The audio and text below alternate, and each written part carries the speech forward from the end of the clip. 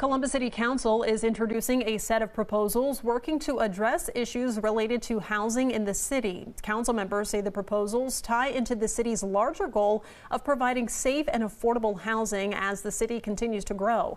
NBC4 Sierra Johnson was there as council laid out their plan. Sierra, we're talking about seven or more proposals here. Yeah, that's right. Seven or more proposals to make up a larger plan. I did have a chance to speak with Council Member Shayla Favor, who says this has been in the works for months and could take as much as 12 to 16 months to implement. Our growth is our greatest asset, but it's also our greatest challenge. Uh, and the biggest challenge we see is around housing. It's an issue members of Columbus City Council say they are well aware of and have seen only intensify as time goes on. We had a housing crisis uh, before the pandemic. Uh, the pandemic has only exacerbated what was already uh, happening in our community.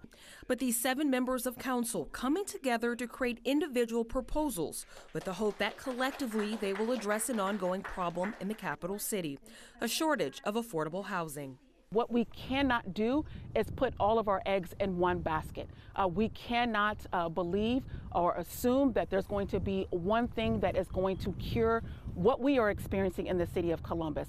There's got to be a number of different things firing all at the same time. Uh, but one thing is clear that we cannot wait.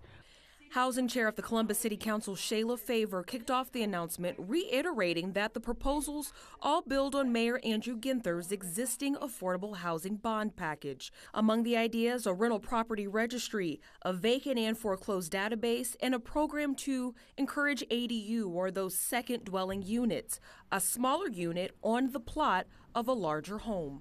We have been uh, engaging in uh, passing progressive uh, housing legislation uh, since my time on council. Uh, this time, uh, we are focused on um, doing more uh, than just what on, one office uh, can and could bear on its own. Favor emphasized that these proposals will take time to develop and will be formed with the input of community members. For now, these council members say this is the first step in developing another layer of protection and assistance to help with what they consider one of the biggest concerns of a growing city. This is an expansion of that work. We're going to continue to expand upon that Housing for All legislative package, but what you heard today uh, is our commitment, our priorities as it relates to housing. And you're going to see a series of engagements around this conversation of housing